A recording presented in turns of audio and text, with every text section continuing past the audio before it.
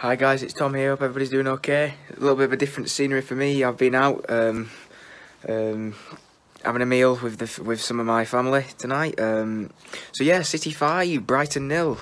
Absolutely brilliant result. Uh, just been see just I didn't watch the full game tonight, so it's not going to be as long as usual. Um, but yeah, it was a great result. Uh, Sterling with the hat trick. You know, uh, Raz. Uh, the other night, he's proved me wrong. A lot of people are proving me wrong at the moment. Um, it was great to see him get the hat trick. Brilliant, brilliant goals. Um, overall, great performance again. You know, that's 32 wins now with over four goals with Pep since he's joined in 16-17 season. Now, it's just sublime. It's just brilliant football. We we didn't look in doubt whatsoever.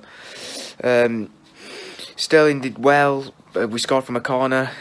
Really good from Gabby that. Um, you know, responded. We can't believe we scored from a corner, so that's also very good. Uh, yeah, Bernardo Silva, another good game from him. Um, good to see him back into the squad, first first time for a while. Uh, that he's put in a good performance. He's always been a little bit quiet recently, but he put a good performance in. Uh, Mahrez, I'm smooth over here, a little bit of light. There we go. Mahrez, um, again, quality. What a ball for Sterling's header. Absolutely brilliant. Uh, yeah, so an overall great performance, really. You can't really deny that again. You know, we've scored 10 goals in the past two games it's happy days, really. You know what I mean? We're putting some great performances and we're getting some goals. We're getting some goals. We're responding. We're, we we've been taking our chances in the past two games, and look what happens when you take your chances.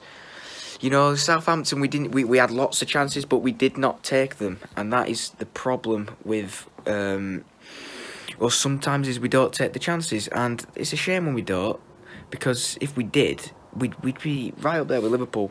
We would, no matter if we had an off season, off season or not, if we took our chances in every game, even the games that we've lost this season, we've had chances, and if we took the chances, then we'd we'd enough won every game.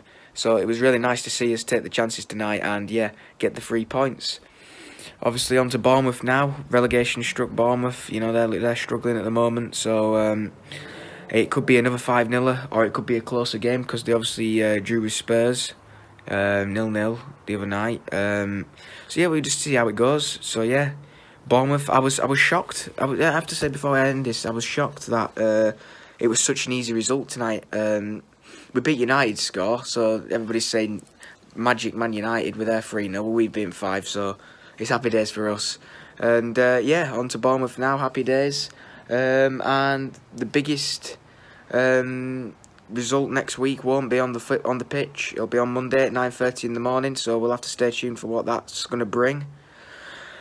Very nervous about what's going to happen. Uh, I'm not going to lie to you. Uh, I just hope that we get proved proved uh, innocent and we get away with it. Well, not get away with it. We get proved that all day uh, the ban was pointless and we were proved uh, okay, and we were okay. So yeah, it's a quick quick one for me. Not really a, as uh, analysed as I normally like to do it to you guys uh, because I've been out, but I've been looking at my phone, watching the watching some of the uh, watching some of the uh, the goals, so I could give you some sort of little post match uh, reaction. And yeah, so yeah, on to Bournemouth now. Make sure you give this video a like, guys, and I promise you, the Bournemouth game it will be much more in detail. Um, yeah, so everybody stay safe, look after yourselves, and on to the next one. Come on, City. Yes,